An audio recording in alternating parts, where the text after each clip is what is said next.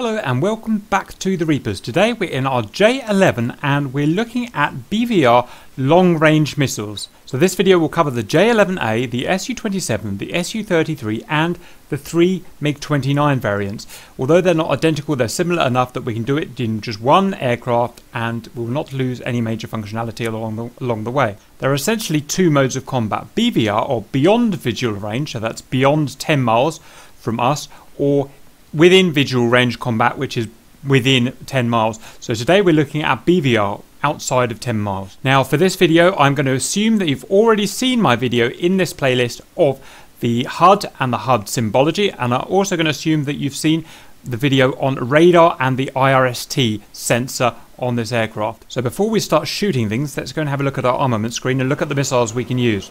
So if we look at our, at our most dynamic pylon, which is pylons 8 and 3, air to air, we get, whoops, we get an R27ER, an R27ET, an R27R, a T, a 70, uh, sorry, a 77.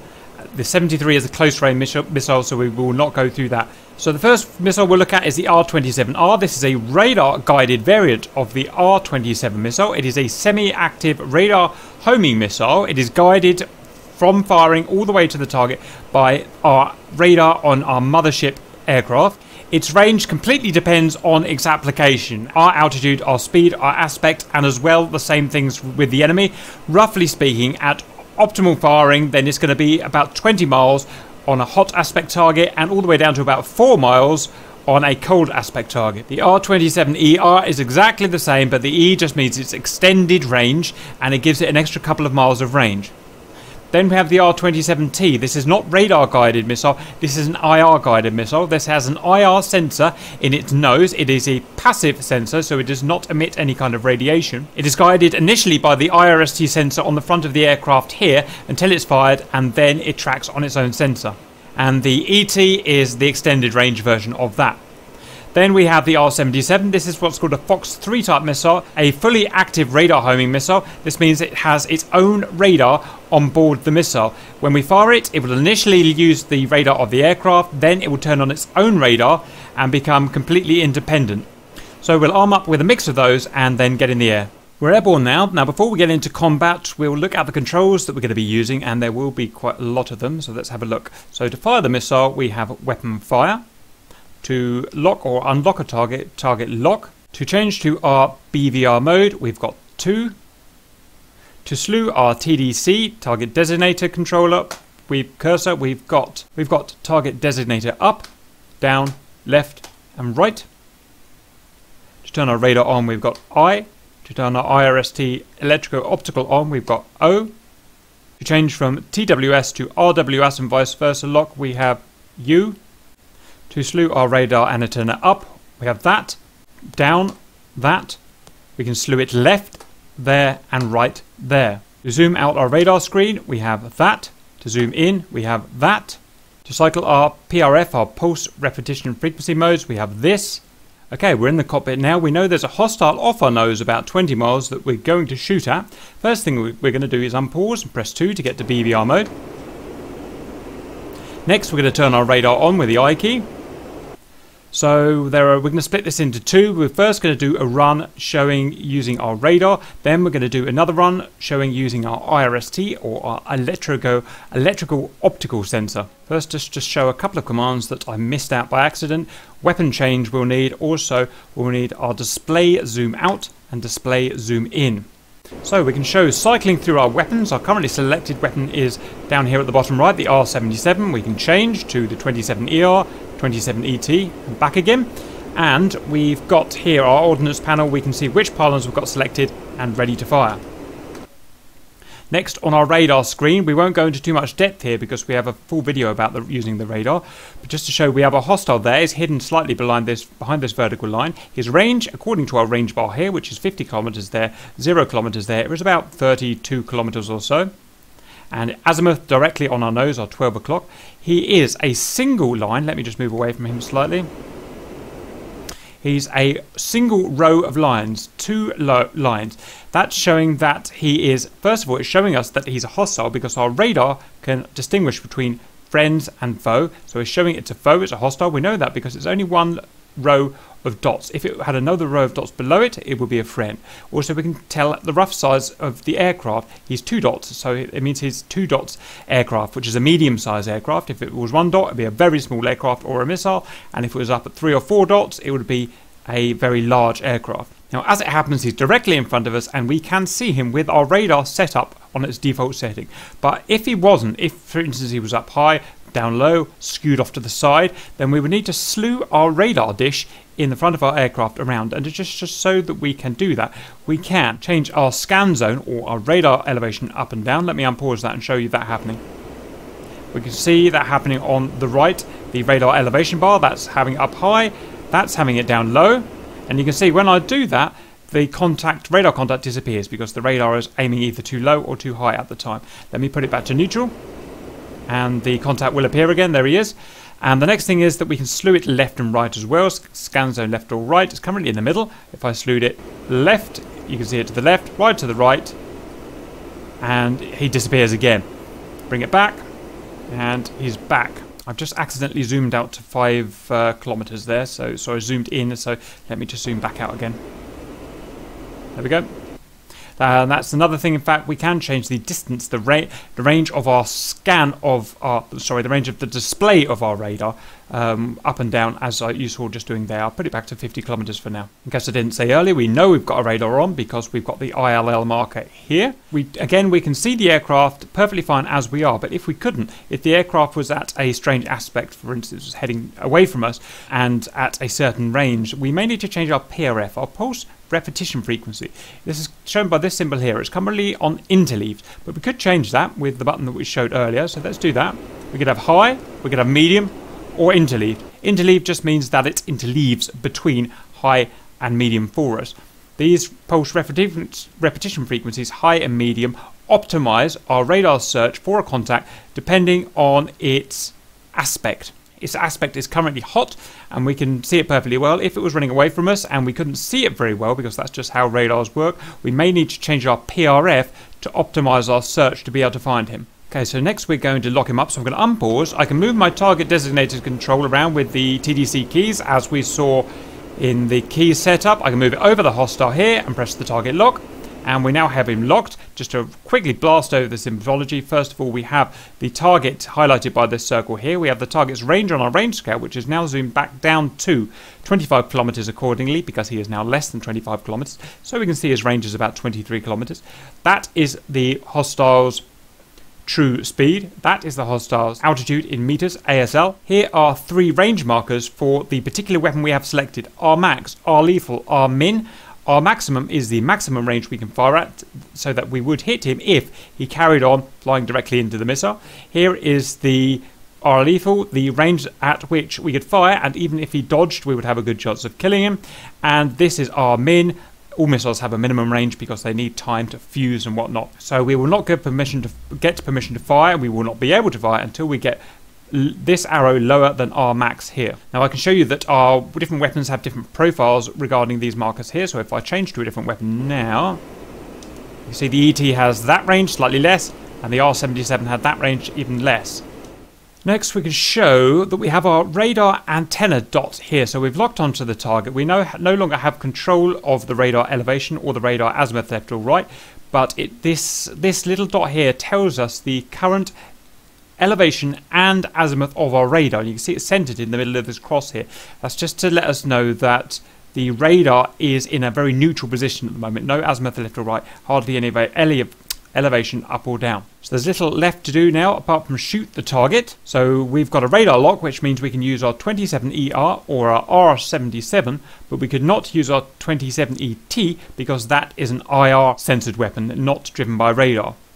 Now if we use the 27ER we would have to maintain target lock until the missile hit because the missile does not have its own onboard radar. If we use the R77 we could turn away about halfway through the missile's travel, we could turn away and lose lock, and the missile would still hit because it would have its own onboard radar, which which it would switch on and guide to the rest of the way. A couple of other things to point out: we have our IFF shown here. When we had the target uh, unlocked, we could tell by the amount of rows, if you remember, the target's coalition. We now tell by this symbol here if it's an A, it's a hostile. If it's an AF then it means it's friendly. Also, we can see that we are on target lock or track mode now, and we are no longer in scan mode. It was SCN before we had locked. Just one thing to note, this IFF only works if we have our radar on, our ILL symbol here. It will not work when we use our EO later on. Okay, so let's unpause, let's aim at the target.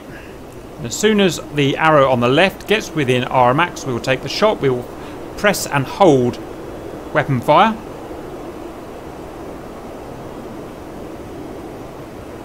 We'll use the 27 ER just because we can. You can see that we can fire now. We've got that LA. We're within, we're within R max. We've got the LA. That's launch authority. We can fire the weapon. So let's do that now. Off he goes. And we should see that we've only got one green dot down here left. So only one missile of that type left. You can see how the missile tracks and leads him as he tries to dodge. You can see the target's aspect changing with this arrow here. You can see now we've got closer, we're within R lethal now, and why don't we launch an R77 at him now just to make sure. And we can add a little bit of lead as well over, over this way. That's our R77 out. I'm Just going to fly straight into it. Or is he? Wow, he's done amazingly well. Oh no, we've got him. Yeah, that's that. Very good. So that was just showing the symbology, how, how to lock a target, showing this symbology involved, when to fire, and how to select the weapon. Next, we're going to go back. We're going to do the same, but instead of using our radar, we're going to use our IS, IRST or our EO. We're back now. Let's unpause. BVR mode on. Electrico-optical on it's similar symbology. We have no ILL at the bottom here, so the radar is off, but we have an EO here, so the IRST electrical optical is on. So symbology-wise, otherwise, it's pretty much the same. It's telling us that it's in scan mode at the moment. As well as that, we can, uh, we do still have our scan elevation and azimuth lines. And if you look, we can move them up and down, left and right again. But with the EO, I don't think it's actually slewable. Whereas the radar, we could actually move it left, move it right, move it up, and move it down. The IRST, I believe, is always in a fixed position, and these functions actually have no function at the moment. As well as that, this is no longer a range bar with the EO. With the EO, so this up and down graphic, rather than being the range of the target, is now essentially the pitch of the target from us. So if the target was, well, essentially, say somewhere in that cloud, then it would literally appear, the target, when we see it, it would appear roughly in that cloud there. If the target was down low, it would appear down low here. So it's not showing the range. And the azimuth is still the azimuth. If it's over to the left here, the target is to the left. If it's to the right, then the target is to the right. Now, very roughly speaking, the range of the radar that we used before was about 50 or 60 miles, something like that. The range of this EO is a lot less the range will depend on the heat signature of the aircraft. It just so happens the heat signature of the aircraft we're looking for now is very low, and so the range we'll be able to get this guy in is probably not much more than 10 miles, so we'll have to get very close before he'll come visible. The benefit of this EO system is that it is passive only, it does not emit any radiation, so if you like it's a stealth mode of finding targets. So now I'm going to fly towards the target's known position and at some point when he's close enough we'll pick his heat signature up here. Right, we've got a signal appear. It's right in the middle here. Now it's four dots. That is not showing the size of the aircraft. With EO, we cannot tell the size of the aircraft. All contacts will show up as four dots. Now we can see it's basically in front of us. That's because this is centered in the middle of our HUD. If I were to move left a little, you can see that it'll start to track to the right. So bearing in mind that we are facing there, is telling us that our hostile is to the up and to the right. And you probably won't be able to see this on your screen, but the actual target is there. So it doesn't hover over the actual target. Instead, it's a proportion of the total scan zone of this IRST. The IRST can scan out, I think, about 60 degrees, something like that, in either direction. So the edge of the HUD here would represent about 60 degrees if this marker here were on the edge of the HUD. But because it's very near to the center of the HUD, it's showing that the deviation of the aircraft from the center of the HUD is actually only about 10 degrees, and that's about what that target is there, what I'm scanning between there. At this point, we can tell nothing else about the aircraft. We can't tell its size, its azimuth, or anything, or even its range. So that's just how EO works. The next thing we're going to do is lock him up. So we're going to move our TDC over him like so, press target lock, and we've now got a lock on him. Now there is a lot of information we can get. Our radar is still off, but the EO can still get a lot of information. We can tell he's traveling at 700 kilometers an hour. True, that's his altitude. Uh, we've now got his range. That is, we've got quite close without knowing. We uh, just because he was heading towards us, I didn't lock him in time. So that is 10 kilometers there. R max, the marker is going to be way up there in this case, equivalent. This is the R lethal marker, so we're within R lethal now, and that is R minimum there. Beware here, it's showing him as a, a uh, hostile, as A, with the IFF marker here. Remember that this does not work until I turn, unless I turn my radar on. So don't be fooled, it's a common mistake to make. Now, because I've got an IR lock on this guy, I cannot fire a radiation-based missile. I can only fire an IR-based missile, which is my R27 ET. So I need to select that and fire it. So we'll change weapon. We'll have to do it quite quick. I've just noticed how close he is. So weapon change. There we go. And I will go ahead and fire at him uh, based on the symbology we saw last time. So why in that case, if I change my weapon quickly, do I have launch authority with an R-77, a radar-guided missile? Well, we can actually fire a radar-guided missile from an EO lock. The reason is that I can press the trigger now with the R77 selected and as I press the trigger it will automatically turn the radar on. That radar would automatically gain a radar lock based on the information gathered by the EO and that will allow me to fire a radar guided missile. So I'm going to try, why not, let's try firing a radar guided missile at him.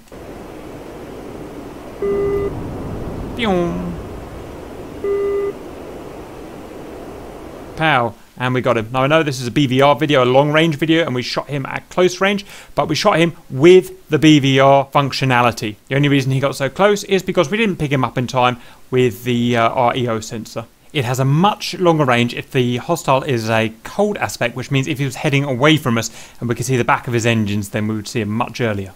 So that leads me on to the penultimate thing I want to mention, and that is I can have the radar on at the same time as the EO. So you'll notice we've got EO on up here and we've got a radar on now. So that is the thing. When that happens, the radar will be the primary sensor, but we have the functionality for both. So I think the only other thing I wanted to mention, I know I showed this in the radio video, uh, in the radar video, but we also have a top-down view of the radar here. So we can see we're there. This is going to be very small now, and I haven't got time to scan in. And there is actually a hostile. He's heading is this line here. He's a hostile. He's only a mile away from us now. But this shows our radar currently selected radar scan zone, our current legend or the scale of this display, and our current true speed. And in fact, there's just one more thing that I wanted to say, and that is about targets that are jamming. So let me just set up again quickly. Okay, so I've reset the scenario. I've got my radar on. I'm searching in BVR mode with my radar on and my EO off. I've got my target here. Now, there's just one thing that you might find when you go into combat. So what you might find in reality when searching for a target is not a lovely, clear, clear pair of dots like this, you might see a whole stack of fuzzy lines. If you see that, then you'll know what it is, is that the target is jamming. It has an ECM pod or an inbuilt ECM, electronic countermeasures, and it's jamming your radar. If the target was jamming like that, then you'd only be able to get the very basic information on him, basically his azimuth, which direction it is. You couldn't tell how far away he is, like we can here, and we wouldn't be able to get a lock on him and we wouldn't be able to fire at him. Now, the good thing is, though, that when you get close enough to a target that's jamming, you will burn through his jammer and his jammer will become ineffective and then his symbology will return to normal like this. So if you see a target that's jamming, if you get close enough, usually within about 20 miles, the stack of lines will disappear and you're just presented with a normal graphic like this and you will then be able to ascertain his range and lock him and fire at him like normal. Other than that, that's all I want to say on BVR using radar and electro-optical. I hope that helps and see you later.